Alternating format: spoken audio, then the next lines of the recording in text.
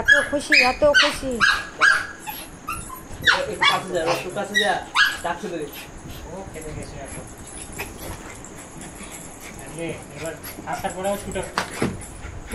আনন্দ আর ধরে রাখতেও পারছে না এটা এটা নিলাম বাপ কত আনন্দ। না না না নিচে পড়ে কবে নিলি এটা? নিচে পড়িয়ে এটা কবে নিলি? আজকে? হয়েছে। চলে এলো। ওই বললাম। না না।